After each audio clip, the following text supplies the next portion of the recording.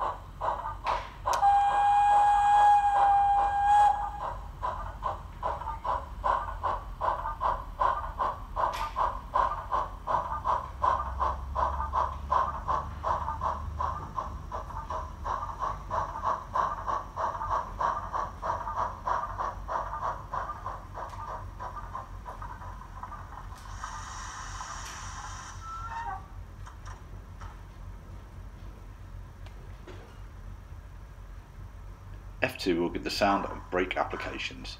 F2 can be dabbed or held for varying durations. The sound will respond accordingly.